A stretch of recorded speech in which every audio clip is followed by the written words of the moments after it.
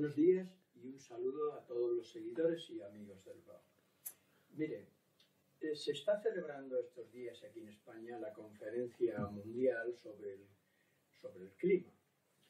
Y quería decir solo unas palabras breves sobre esto. Con frecuencia, eh, muy, muy casi siempre, no siempre, eh, se habla de la solución del problema del clima como una solución eh, a los problemas de emisión de, efecto, de gases de efecto invernadero. Pero muy pocas veces se habla de que el sistema, la organización económica, política, social, ideológica, religiosa, etcétera, que hemos creado a lo largo de estos siglos, si no la cambiamos también, no vamos a conseguir que este planeta se destruya o casi se destruya. Entonces, a ver, eh, hablar de la solución de eh, todo aquello que contamina con gases de efecto invernadero solo para solucionar el problema que tenemos es una utopía. Es una utopía.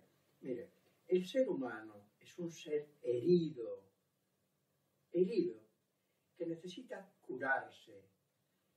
Desde allá, desde el, paleolítico, cuando ya empezamos,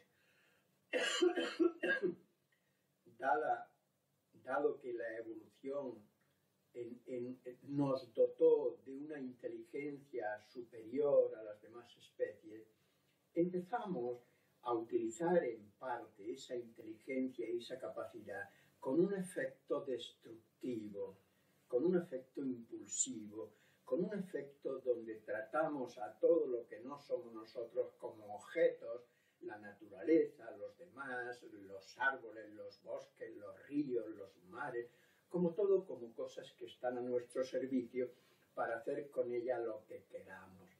Ese es el gran error. Y ahora, desde el siglo, digamos, XVIII, auge, mayor eh, auge científico y el auge tecnológico, tenemos armas en nuestras manos más que suficientes para destruir este planeta un millón de veces, un millón de veces.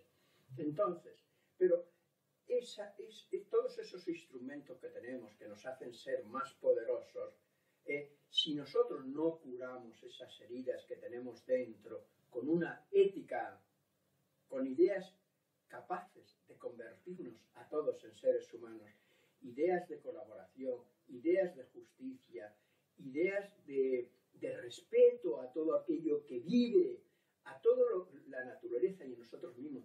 Tenemos que respetar hasta las piedras, tenemos que respetarlo todo. Todo tiene un ser, todo tiene una entidad. Y si no respetamos esta, esa entidad y lo convertimos todo en algo para nosotros, no como algo en sí, vamos a acabar muy mal. Nos lo están diciendo los especialistas en el clima, a pesar de que algunos, eh, algunos ignorantes, supinos, como eh, gente de, de, Estados Unidos o de China o de Rusia, eh, estén haciendo poco por toda esta en este proyecto.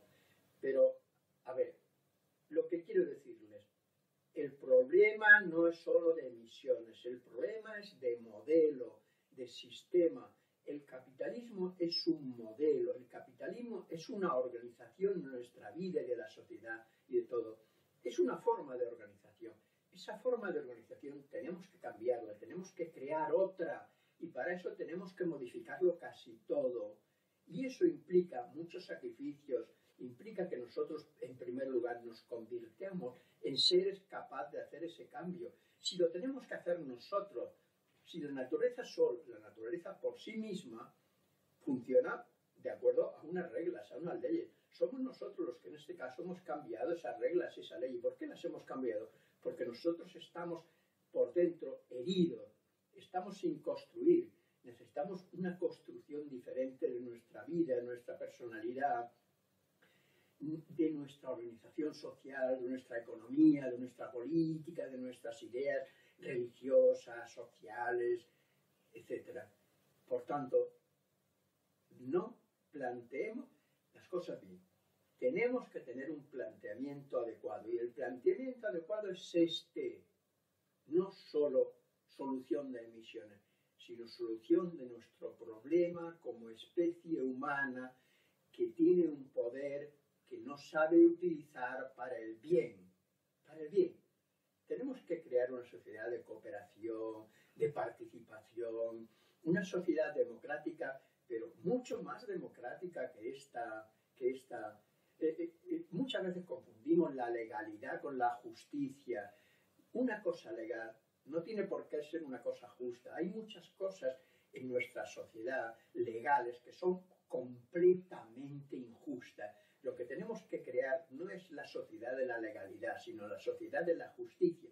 Y la ley tiene que estar, ser equivalente a la justicia. Y si no, pues señores, lo que nos espera, lo que espera a, esta generación, que son ahora niños, eh, por ejemplo, a mis nietos, es una destrucción muy grande.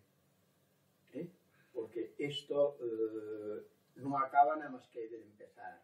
Por tanto, señores, tenemos que convertirnos nosotros, tenemos que hacer un proyecto sobre nosotros como individuos y como sociedad para cambiarnos a fondo, para construirnos como seres humanos, para subordinar nuestros caprichos, nuestro afán de dinero, nuestro narcisismo patológico y enfermizo, nuestra avaricia, nuestro no querer saber nada, nuestro refugiarnos en la comodidad, en la indiferencia y no hacer nada. Todo eso tenemos que cambiarlo. Cambiémoslo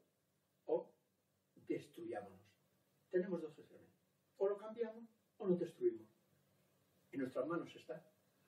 Bueno, gracias a ustedes por su interés y por escuchar esto y por llevarlo a la práctica. Así lo espero. Gracias.